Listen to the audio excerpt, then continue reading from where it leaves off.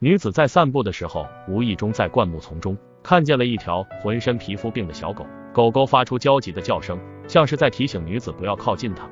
她定睛一看，这条小狗应该是刚刚出生不久，孤零零的站在草地上，四处看下，也没见有狗妈妈，也没有其他同伴，可能是迷路了，也可能是被人遗弃。狗狗身上一大片腐烂的皮肉，双眼流出粘稠的液体。看起来非常的可怜。见这只小狗这么惨，女子便回去取了些吃的喝的给狗狗。这只小狗还在害怕，害怕的瑟瑟发抖。见到这一幕，女子拿出一根火腿肠递进了小狗嘴里。这只狗狗不知是不是已经饥饿很久了，见到有食物便开始大快朵颐。因为狗狗得了一种很厉害的皮肤疾病，它怕感染自己家的狗，所以就没有将狗狗带回家。第二天，他又去了一趟森林。因为天气报告说夜里有大雨，怕这场大雨把狗狗给冲走，就用泡沫箱子给它搭了个简易的房子。他看着那只小狗，不停的抓着自己的双眼，眼泪从眼眶里流了出来。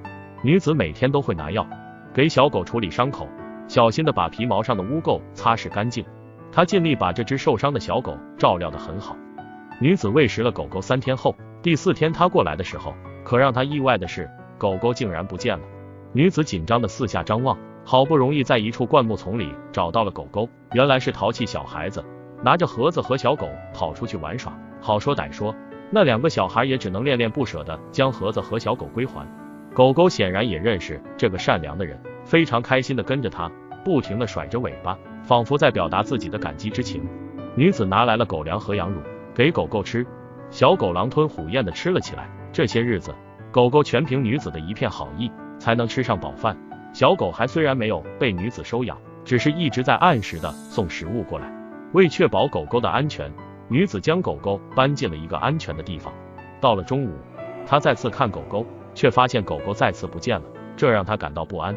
早上的时候，小狗被一个孩子当成了他的玩具，这让她担心自己的狗狗会有更多的麻烦。她四处寻找，终于找到了狗狗。狗狗被困在了一个工厂里，还好小狗没事。女子才松了口气，这里太危险了，路上也很多的车。在热心人士的悉心照料下，小狗的伤势渐渐恢复。女子走后，有人将狗狗的盒子砸成了碎片，丢进了垃圾桶。狗狗一次次的意外让她很是担心。这一次，她是铁了心要带狗回去了，就算狗狗得了什么病，她也要保护好狗狗。女子将狗狗送到了一家宠物医院，医生说狗狗得了一种皮肤病，怕感染给别的狗狗。没有让狗狗条狗进了诊所，而是让狗狗在诊所门口接受了一系列的检测。在女子怀里的小奶狗很听话，看起来很有活力，一双圆溜溜的大眼睛看起来很是萌。没过多久，化验报告就出来了，还好，小奶狗只是有皮肤病，身体并没有其他问题。尽管小狗得了很重的皮肤疾病，但是女子将狗狗抱到家里，细心的为它涂抹药物和喂养。在女子的新照料下。原本消瘦的小狗渐渐变胖了起来，而且它的皮肤状况也得到了改善。来到新家的小狗也很开心，新的主人为狗狗买了很多新的玩具、新的衣物。女子对狗狗的疼爱，让它从一开始的害怕，到后来对女子的信任。狗狗的生活很幸福，因为狗狗年纪还小，不能洗澡，所以女子每日都耐心的为它擦拭皮毛，如同照料自己的小孩一般，温馨而慈祥。